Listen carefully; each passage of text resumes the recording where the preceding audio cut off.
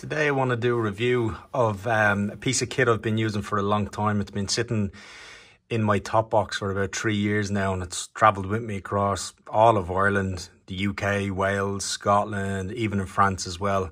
It's not a piece of kit I use every single day, but when I do need it, it is there. And I've also used it at home to pump up inflatable toys and stuff as well.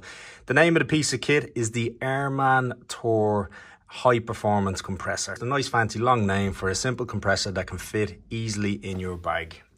It comes with everything you need for the motorbike to get you up and running. It's got a little over a meter length on the cable itself, which tucks nicely up underneath. It has the connector that goes to the valve wrapped around the top. Again, really nice, easy and compact and then it screws onto the valve of the motorbike as well. No adapter needed at that point, a little bit of flexibility and also with the meter cable it's quite handy too.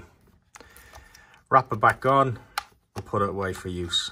It has a couple of indicators up the top whether you're pumping in uh, PSI or not and it'll take maybe two minutes or so to take, maybe a bit less actually, it'll take maybe a minute and a half to inflate a motorcycle tire from nothing up to about 36 psi.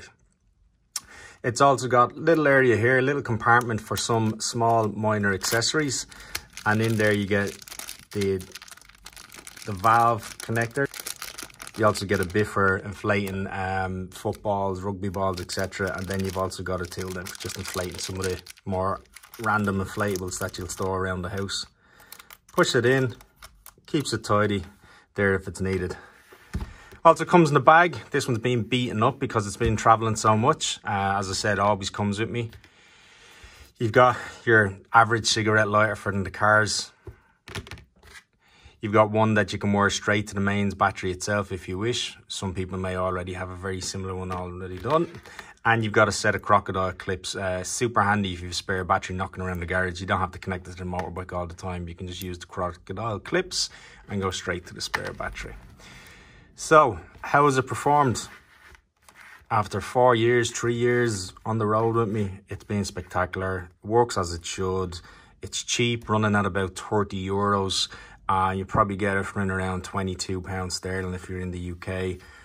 Would I leave home without it? Absolutely not. I'd always make sure I have them with me. So if you are traveling, this one for me is a solid piece of kit and has lasted a long time.